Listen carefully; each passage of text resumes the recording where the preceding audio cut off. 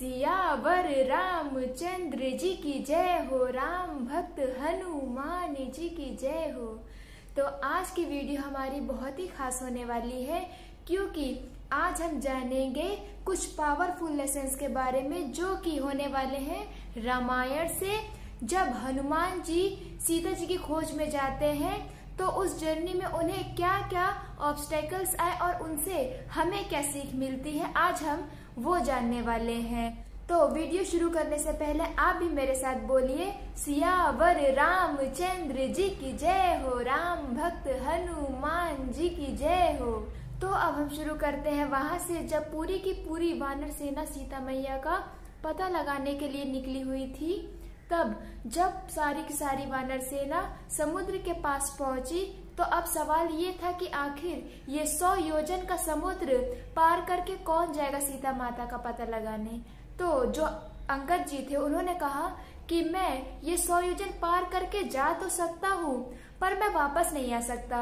और जो जामवान जी थे, उन्होंने कहा कि पहले तो मैं जा सकता था, पर अभी मैं बूढ़ा हो चुका हूँ, इसलिए मैं नहीं जा सकता। तब जामवान जी ने कहा कि ऐसे सिर्फ़ एक ही व्यक्ति हैं जो कि राम जी के परम भक्त हैं, जो सीता माता का पता लगाने ये सौ योजन का समुद्र पार करके जा सकते हैं, और वो है हनुमान जी। तब उन्होंने हनुमान जी को उनकी शक्तियाँ याद दिलाना शुरू किया कि आप ही है वो जिन्होंने सूर्य देव को निगलने के लिए इतनी ऊँची छलांग लगा दी थी तो आपके लिए ये सौ योजन का समुद्र पार कर जाना कौन सी बड़ी बात है? तब उन्होंने उनकी महिमा का गान किया कि आप बहुत ही ब्लेस्ड हैं और आप यमराज से, इंद्रदेव से वरुण देव से, शिव जी से, ब्रह्मा जी से सबसे आपको विशेष आशीर्वाद प्राप्त है और आप स्वयं भी इतने शक्तिशाली हैं, इसलिए राम जी का कार्य ये आप ही कर सकते हैं। तब हनुमान जी को उनकी शक्तियाँ याद आई और उन्होंने कहा कि जी, श्री राम जी की कृपा से मैं उनका ये कार्य ज़रूर सिद्ध करूँगा। फिर हनुमान जी छलांग लगाने के लिए समुद्र के किनारे पे गए। अब इस इंसिडेंट से हमें ये शिक्षा मिलती है कि जब भी हमें अपनी पावर्स का अंदाज़ा नहीं होता है तो जो हमारे वेलविशर्स होते हैं, हमारे आसपास के लोग जो हमारा अच्छा चाहते हैं वो हमें हमारे अचीवमेंट से याद दिलाते हैं, हमारी शक्तियों का एहसास दिलाते हैं, जिससे कि हमारा आत्मविश्वास बढ़ता है। इसके बाद जब हनुमान जी समुद्र पार करने के लिए समुद्र तट पर पहुँचे तो वहाँ पे उन्होंने भगवान श्री राम का स्मरण किया। इससे उनका आत्मविश्वास और भी बढ़ गया। तो इससे हमें ये सीख मिलती है कि जब हम याद करते हैं कि हम किन को बिलोंग करते हैं। हम भगवान के बच्चे। जब हम ऐसा हमारे मन में होता है तो हमारा कॉन्फिडेंस और भी ज़्यादा बढ़ जाता है। तो इस तरह हनुमान जी श्री राम का नाम लेके महेंद्र पर्वत से छलांग लगाते हैं लंका की ओर। तो लंका जाते समय हनुमान जी के रास्ते में सबसे पहले आता है मैनाक पर्वत। वो पर्वत पे सारी सुख सुविधा होती है, सारी लग्जरीज होती हैं। तो वो पर्वत सामने आता है हनुमान जी के और वो खुद को पर्सोनिफाई करके कहता है कि, हे हनुमान जी, आप इस पर्वत पे कुछ विश्राम कर लीजिए थोड़ा, आप कुछ खा लीजिए, कुछ आराम कर लीजिए। पर हनुमान जी वहाँ विश्राम नहीं करते हैं क्योंकि वो दिन लास्ट डे होता है सीता माता का पता लगाने का। इसलिए वो पर्वत को टच करके आगे अपनी जर्नी पे निकल जाते हैं।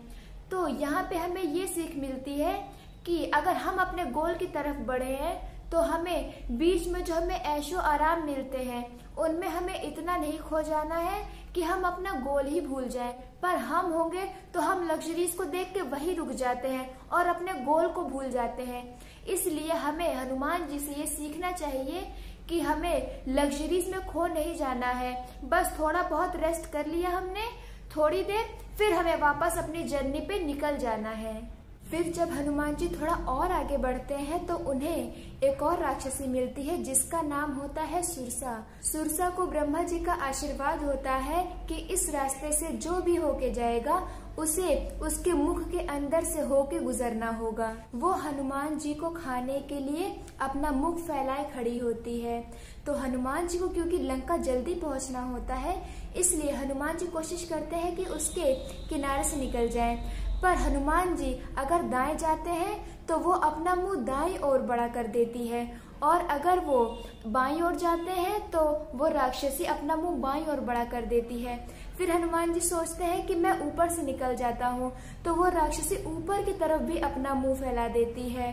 फिर वो राक्षसी क्या करती है कि अपना आकार बढ़ाने लगती है। तो हनुमान जी भी उससे बड़े हो जाते हैं।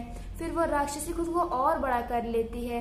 फिर हनुमान जी भी अपना आकार बढ़ा लेते हैं। तो इस तरह धीरे धीरे करके दोनों अपना आकार बढ़ाने लगते हैं। फिर हनुमान जी अपने आकार को छोटा करके उस राक्षसी के मुँह के अंदर से होके आ जाते हैं और कहते हैं कि मैंने आपका जो ब्रह्मा जी का वरदान था वो पूर्ण किया है, इसलिए कृपया आप मुझे इस रास्ते से जाने दीजिए।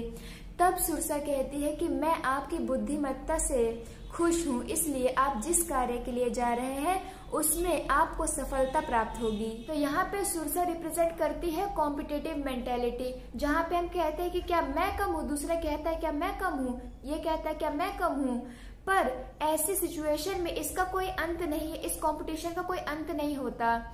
तो हमें क्या करना चाहिए? हमें विनम्र होके ये कहना चाहिए, हमें झुक जाना चाहिए। क्योंकि इस कंपटीशन में खाली हमारा टाइम ही वेस्ट होता है।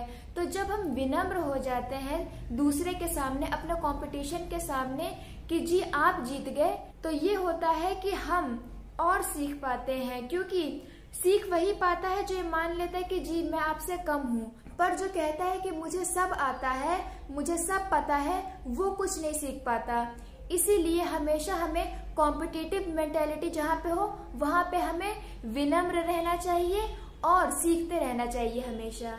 अब हनुमान जी और आगे बढ़ते हैं। तो हनुमान जी सोचते हैं कि मैं नीचे उड़ता हूँ तो मुझे कोई ना कोई मिलता ही जा रहा है। पहले मैनाक पर्वत मिल गया और फिर सुरसा मिल गई। इसलिए उन्होंने सोचा कि मैं अपने उड़ने का लेवल ही बढ़ा देता हूँ। तब हनुमान जी आकाश में बहुत ऊँचे उड़ने लगे। तो ऊँचे उड़ते उड़ते वो एक जगह पे रुक जाते हैं। तो वो ये देखते हैं कि मैं आगे नहीं बढ़ पा रहा हूँ। और जब हनुमान जी नीचे देखते हैं तो उन्हें दिखता है कि उनकी जो शेडो है, वो बहुत ही बड़ी दिख रही है और उसे किसी ने पकड़ा हुआ है। उस राक्षसी का नाम होता है सिमिका। तो हनुमान जी मुट्ठी बाँध करके, मुख नीचे की ओर करके बहुत तेज़ी से उस राक्षसी की तरफ़ बढ़ते हैं और अपना शरीर सूक्ष्म करके उसके अंदर जाके वो उसके हृदय को चूर कर देते हैं और उसका शरीर फाड़ते हुए निकलते हैं। तो आखिर हनुमान जी ऐसा क्यों करते हैं? पहले उनके रास्ते में मैनाक पर्वत भी आया तो भी हनुमान जी ने कुछ नहीं किया, वो उसको टच करके निकल गए खाली। और जो सुरसा थी, उसके साथ भी हनुमान जी ने कुछ नहीं किया, उनको प्रणाम करके आगे निकल आए। पर सिमिका के साथ ऐसा क्यों किया? क्योंकि जो सिमिका है, वो रिप्रेजेंट करती है एनवी को, जेलसी को। ऐसा अक्सर होता है कि जब हम किसी को ऊँचा उड़ता हुआ देखते हैं, सक्सेसफुल देखते हैं तो हम उससे ईर्ष्या करने लगते हैं। और ईर्ष्या की भगवान की सेवा में कोई जगह नहीं होती। इसीलिए हनुमान जी उसको फाड़ करके बाहर निकलते हैं। तो जो ये हनुमान जी की बड़ी सी शेडो को सिमिका पकड़ती है, ये ये बताता है कि जो लोग ईर्ष्यालु होते हैं, वो दूसरों के गुणों को नहीं देखते, बल्कि उनकी कमियों को बड़ा करके देखते हैं। अब जब हनुमान जी थोड़ा और आगे बढ़ते हैं तो वो लंका के गेट पे पहुँचते हैं, जहाँ उन्हें मिलती है लंकिनी, लंका की गेट कीपर तो वो वहाँ पे बहुत ही विशाल रूप से लाल लाल आँखें करके वहाँ पे खड़ी हुई होती है। वो हनुमान जी को बोलती है कि, हे वानर, तुम कहाँ जा रहे हो? इस लंका में लंकेश्वर रावण की इजाज़त के बिना और कोई नहीं जा सकता। तो तुम कहाँ जा रहे हो? तो हनुमान जी कहते हैं कि, कृपया मुझे इसके अंदर जाने दें। हनुमान जी उसके साथ युद्ध नहीं करते हैं। पर वो नहीं मानती है। तो वो हनुमान जी को हल्का सा ऐसे कर देती है तो हनुमान जी थोड़ा दूर झिटक जाते हैं। पर फिर हनुमान जी कहते हैं कि ये ऐसे नहीं मानने वाली है। तो हनुमान जी अपने बाएँ हाथ से उसको एक घुसा मारते हैं जिससे कि वो पूरी हिल जाती है। इसके बाद लंकिनी को अपना पिछला जन्म याद आ जाता है, जब वो सत्यलोक में ब्रह्मा जी की गेट कीपर थी। तो वहाँ पे उसको घमंड हो जाता है, इसलिए ब्रह्मा जी उसको, उससे भी ज़्यादा इगोस्टिक रावण के गेट कीपर रख देते हैं।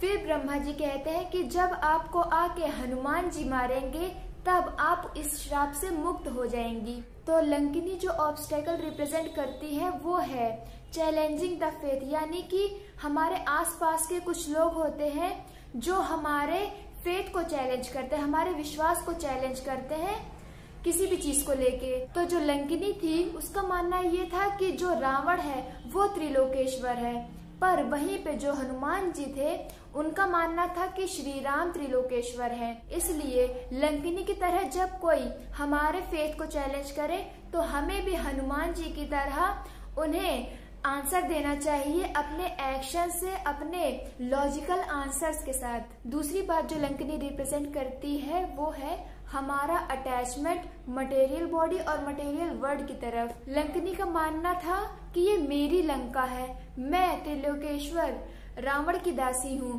पर ऐसा नहीं है। इस जगत में जो कुछ भी है, वो प्रभु श्री राम का है।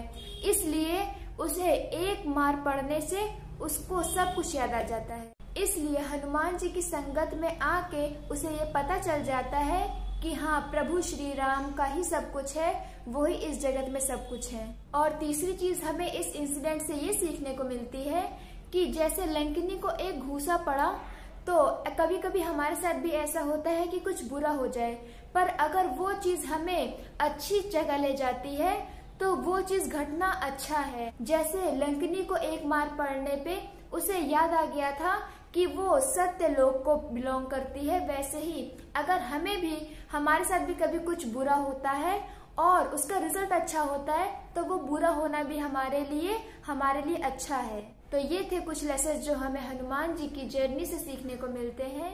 Till then bye take care